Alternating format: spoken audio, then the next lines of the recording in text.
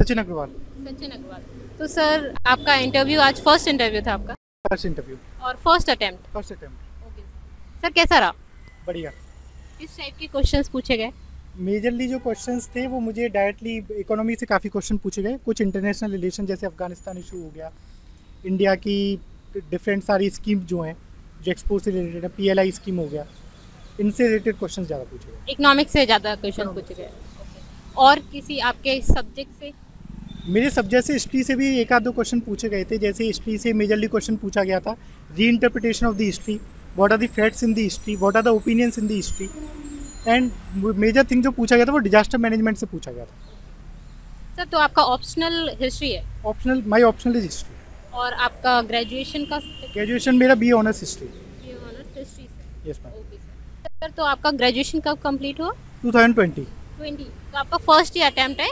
और आपने उसके बाद प्रिपरेशन स्टार्ट की। सर तो आपने कैसे प्रिपरेशन स्टार्ट की कि आपका फ़र्स्ट टाइम है मींस क्लियर हो गया और आप इंटरव्यू के लिए अपेयर हुए सेकेंड ईयर से स्टार्ट कर प्रिपरेशन करना स्टार्ट कर दिया था। ओके तो दो साल कंटिन्यूसली प्रिपरेशन किया और फिर 2020 में अटेम्प्ट दिया ओके और आपका फ़र्स्ट अटेम्प्ट अच्छा।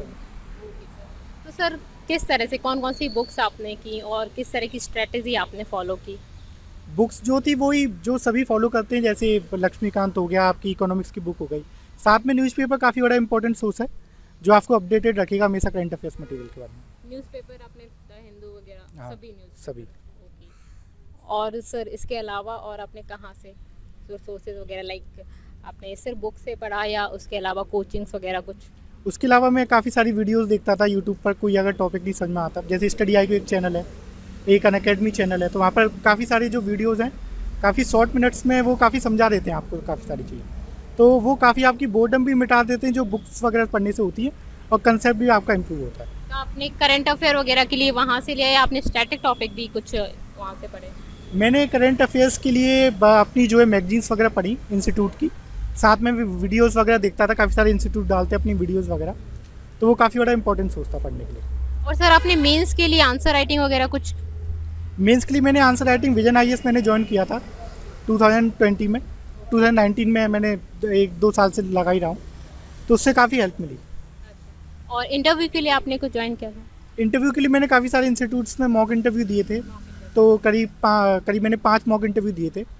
तो दृष्टि हो गया आपका बाजीराव रेड्डी हो गया एक आपका बायजूस तो ये इस तरीके से मैंने प्रिपरेशन की तो सर कुछ सजेस्ट करेंगे आप स्टूडेंट्स को जो प्रिपरेशन कर रहे हैं और आप काफ़ी इंस्पायर करते हैं उन लोगों को जो जिन्होंने स्टार्ट ही की अपने प्रिपरेशन तो उन लोगों के लिए कि भाई फ़र्स्ट टाइम में उनका सब क्लियर हो जाए। तो इस तरह का कुछ आप उनको सजेस्ट करेंगे? कैसे पढ़ें वो बस हिम्मत रखिए और अपना गोल सेट करिए। आजकल क्या है ना गोल सेट नहीं हो पाता।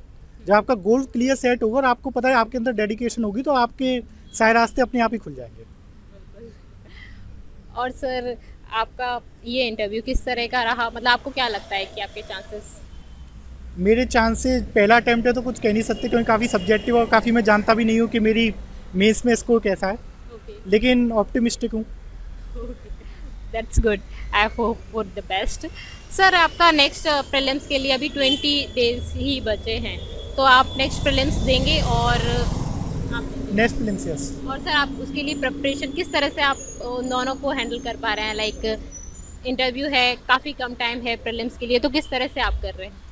फिल्म्स और इंटरव्यू के लिए दोनों को मैं मैनेज कर रहा था, जो आप इंटरव्यू में पढ़ते हैं, वो फिल्म्स का भी कुछ पोर्शन पक्का उसमें पूछा जाता है। तो अभी तो टेस्ट सीज वगैरह सॉल्व कर रहा हूँ मैं काफ़ी सारी।